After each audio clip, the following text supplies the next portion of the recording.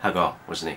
不知道你有没有在拍影片的时候，觉得相机内建的麦克风收音效果没有这么理想呢？那这个时候，我们通常会加上外接麦克风来提高我们的收音品质。可是，大部分像这样的指向性麦克风呢，它的收音方向呢，只有固定一个方向。我转过来背面，它的收音品质可能就会有一些改变。我再转回来的话，它的效果呢？又会比较显著，变得比较好一点。好的，那我们换回平常比较熟悉的配置哦。不过有一种情况，我们可能需要采访街访，或者是拍摄自己的家人跟朋友的之间的对话。这时候麦克风收音是向前方，可是拍摄者的声音其实也是影片的主体，也是挺重要的。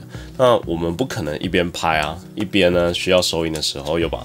麦克风转过来，然后又往前，这样在实际拍摄的时候其实是非常麻烦的。所以，如果我们同时要接收相机前面的声音，也要收录相机后面的声音的话呢，这该怎么办呢？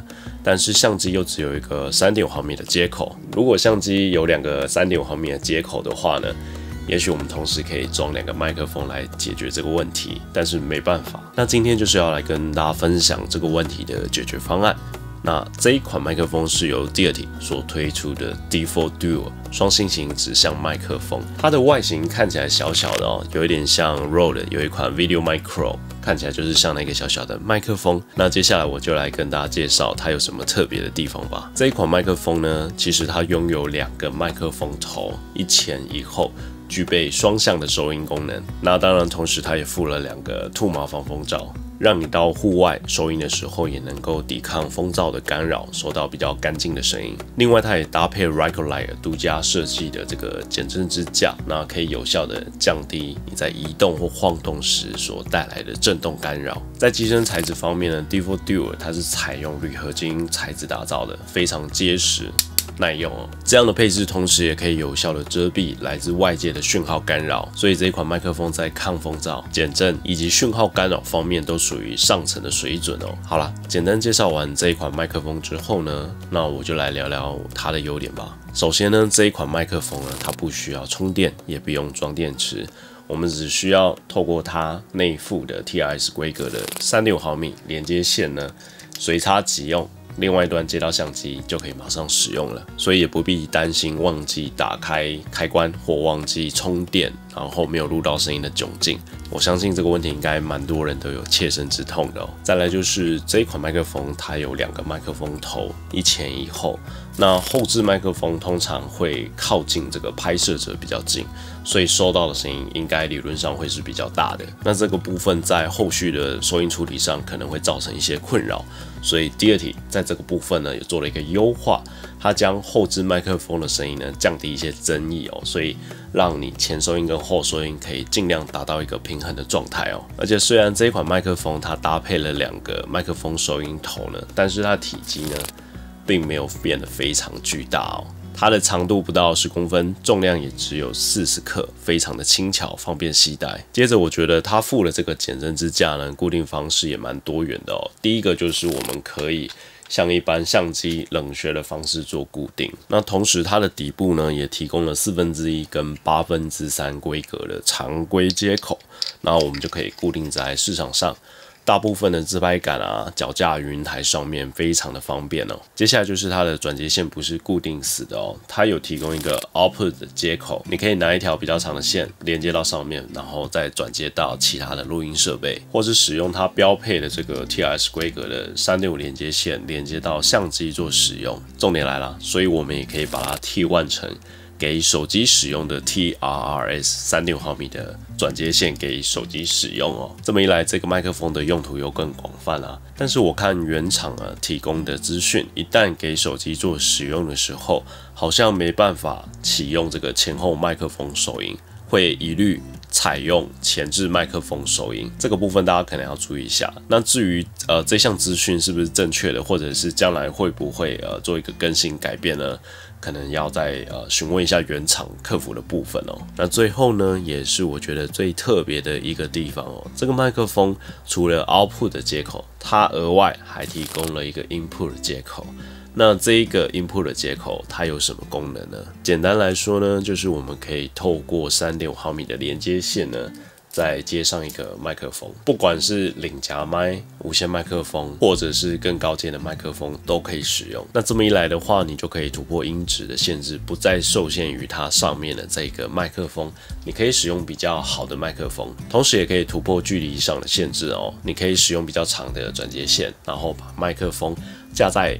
较远的地方来应用使用了，这样就不会受到麦克风固定跟方向性的限制了。不过这样连接使用之后呢，你并不会获得一个、两个、三个麦克风收音哦。这时候它其实是会停用后置麦克风的。也就是说呢，如果我们在 input 的接口呢额外连接了一个麦克风。这时候它的收音呢，会采用前置加外接，而不是加上后置三个，只有两个哦，前置加外接。这个部分大家可能要注意哦，根据你的需求来搭配使用。好了，听了这么多优点呢，你一定觉得这个麦克风超棒超威的吧？简直是访谈、街访跟 vlog 的神器哦。那通常这种神器呢，也不是一般人就可以非常容易上手的哦。我认为这款麦克风呢，它比较不适和一般的新手或者是不懂后期的人使用了。怎么说呢？因为一旦我们把顶端的 switch 开关切换到前后麦克风收音的时候，麦克风会自动把前置麦克风收到的声音放到左声道，然后后置麦克风的收音放到右声道。所以拍摄好出来的影片呢，声音在耳机里面听起来就是前面的声音在左边。后面的声音呢，在右边，听起来会怪怪的哦，基本上是没办法直接使用的哦。不过这个设计是为了后续后期的应用来做考量，其实是一个非常不错的设计哦。我们可以根据最终影片的呈现来自由的取用左声道或右声道。做剪辑使用，所以这个部分需要一点点后期的小技巧，并不是直接拍完的影片就可以做使用了。这个部分可能对于新手来说会花一点点的时间，然后需要了解一点点的这个后期剪辑的软体的应用哦。那接下来我就来简单的操作示范一下，在后期剪辑的部分可以怎么做操作设定，以及这个麦克风收音听起来怎么样？好的，各位好，欢迎来到 Nick 的后期小教室。那接下来我会简单示范一下，我通常是怎么处理这个由 Deity D4 Duo 所录制出来的影片的声音的部分哦。那首先呢，我们将我录制出来的影片呢拖移到时间轴。接下来我们就来聆听一下这一段影片哦。那如果可以的话，也请你戴上耳机来仔细听一下。你叫什么名字？李安。你几岁？快要四岁。那你要上幼儿园吗？嗯。那你要去幼儿园学习什么？数字。还有呢？A B C D。A B C D 啊。OK，你刚刚可以听到这段声音呢，因为我儿子他的收音比较靠近前置麦克风，所以呢，左边的声音左声道会比较清楚、比较大声。那我的声音因为比较靠近后置麦克风，所以是右边声道比较清楚。那我们通过这一个。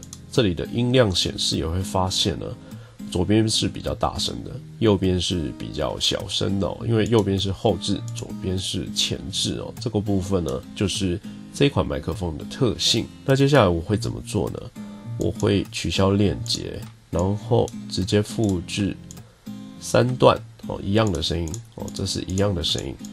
那接着呢，我们处理一下第二段的部分哦。我们点右键，然后音频声道这个部分，把它切成两个都是 left，就是前置麦克风。你会发现它的这个音量啊，是会两个声道都一样啦。那我们仔细听一下哦，这个部分理论上来讲，我儿子声音应该会非常清楚，那我的声音就会比较小声，比较闷。你叫什么名字？李安。你几岁？快要四岁。那你要上幼儿园吗？嗯。那你要去幼儿园学习什么？数字。还有呢？A B C D。OK，对吧？我儿子的声音非常清楚，我的声音就相对比较闷。那接下来第三段呢？我们一样右键音频声道，然后把它切换成 Right，也就是后置麦克风收音。那理论上我的声音会比较清楚，我儿子的声音就会。呃，比较远哦，有距离感的感觉。我们一起来听一下。你叫什么名字？你几岁？快要四岁。OK，我发现我的声音有点小声哦，因为这个第二题有针对声音做一些优化处理。那我把它加六 dB 好了。好，我们再来听一次哦。你叫什么名字？安，你几岁？快要四岁。那你要上幼儿园吗？嗯。那你要去幼儿园学习什么？还有呢？A B C D。OK，正如我刚刚所说到，我的声音是清楚的，那我儿子声音是呃比较距离感的。那接下来呢，我们忘掉哦第一段原始的那一段，就是我儿子声音在左边，我的声音在右边。我们这一次不要只听一个音轨，我们可以注意到 A two 这个音轨呢，就是前置麦克风的声音，而且是左右声道都一样。那 A 三这个音轨呢是后置麦克风，然后左右声道也都是一样的。那接下来我们一起来听一下。你叫什么名字？李安，你几岁？快要四岁。那你要上幼儿园吗？嗯，那你要去幼儿园学习什么？数字还有呢 A B C D。？A B C D 啊，对比较难的吗？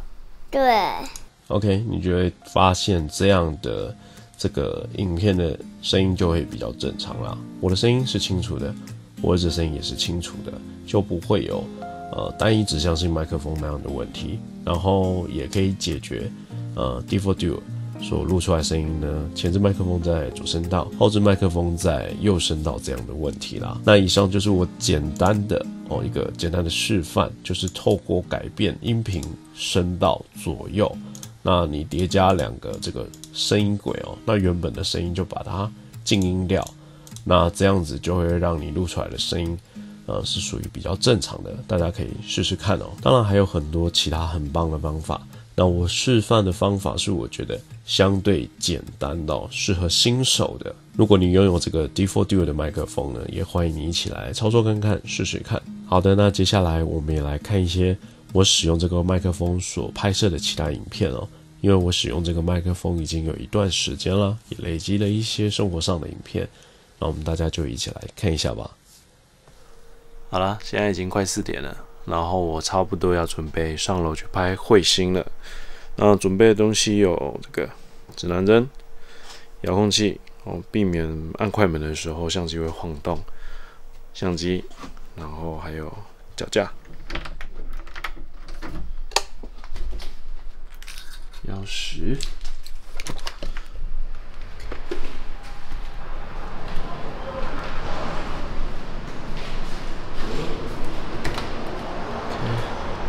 OK，好，这里没有人。哇，你可以看到那边有一个很亮的星星吗？一上来就看得到它了，超亮的，看得到吧？它超亮的，不用特别设定什么参数就拍得出来了，可见它是真的很亮。好，我继续拍我的彗星哦。好，我们要拍摄的彗星在东北方，东北方我看一下。差不多是这个方位。然后我，哦，吓死我了，呃，好可怕，我被抽水机吓到。根据我昨天拍摄的照片呢，这个 Neowise 彗星呢，它会出现在眼前这个社区大楼的上面一点点。诶，我刚刚拍到一张，它出现了，它在这个大楼的上面这边，你看得到吗？画面中这个。它出现了，我缩小一点，它在这个大楼的上面这个地方，这里，这样，好，那我就持续的拍摄哦，OK，终于出现了。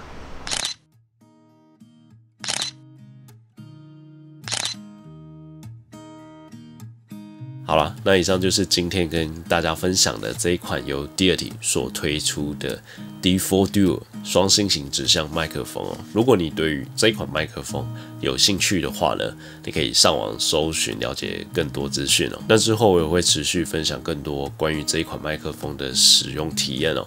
如果你有兴趣的话，也请你持续关注或订阅我的频道，记得要开启小铃铛，才不会错过最新的影片更新。那今天很不好意思，因为我有点感冒，所以呃收录起来的声音可能会呃不是那么理想啊，请大家多多包容啊。好了，那今天影片就分享到这里啦，我是 Nick，我们下次见，拜拜。